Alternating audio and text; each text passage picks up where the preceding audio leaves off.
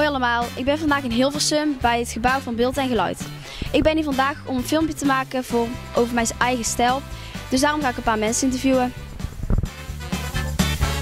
En wie zijn jullie? Ik ben Erik-Jan van der Meent en wij zijn de huisaannemer van Beeld en Geluid. En wat doen jullie hier nou zoal? Werken jullie elke dag en wat doen jullie dan zoal?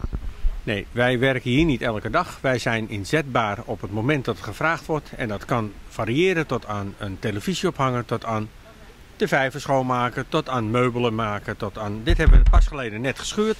Is niet te zien, maar goed vooruit. Wij doen alles. Wij zijn alleskunners.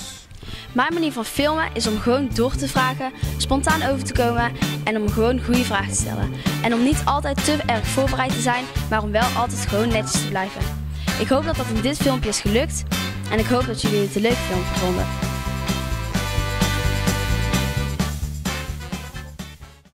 Ik ben Zweder en ik ben hier vandaag op de reporterdag.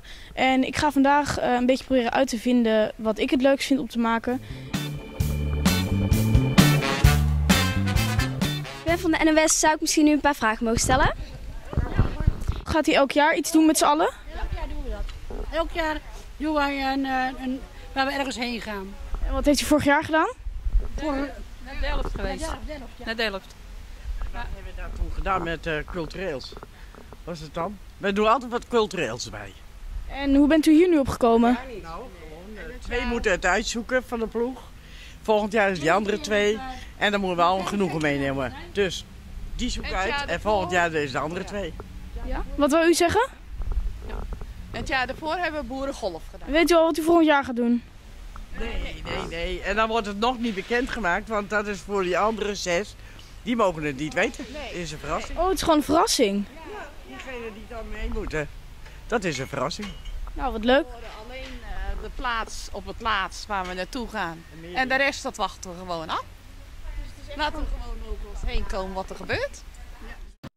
Het spel van filmen is pittig doorvragen en ook een beetje brutaal zijn.